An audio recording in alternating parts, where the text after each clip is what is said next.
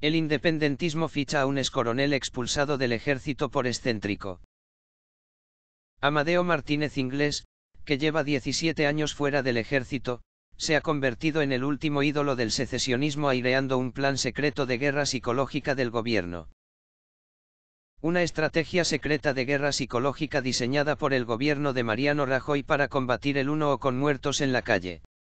Este es el nuevo espantajo lanzado por los medios afines al independentismo para mantener viva la denuncia desmentida por todos los protagonistas de Marta Rovira sobre la supuesta represión que la Moncloa preparaba para frenar la declaración unilateral de independencia. En las últimas horas, medios como el Nacional.cato, este mismo martes Cataluña Radio, están dando pábulo a unas declaraciones del excoronel del ejército Amadeo Martínez Inglés, un polémico militar que fue expulsado de las FAS en 1990 por sus continuos desvaríos e indisciplinas. Martínez Inglés, vinculado ahora a los movimientos de ultraizquierda y republicanos, da credibilidad a las amenazas que en su día reveló Marta Rovira, y denuncia incluso una posible intervención militar. En un artículo publicado en el blog Unidad Cívica por la República y titulado El nudo gordiano catalán, afirma que el gobierno desplegó técnicas de guerra psicológica. Pero, ¿quién es en realidad Amadeo Martínez Inglés? En abril de 1990, el Ministerio de Defensa le expulsó del ejército, tras haber pasado cinco meses en la prisión militar de Alcalá de Henares por sucesivas sanciones disciplinarias.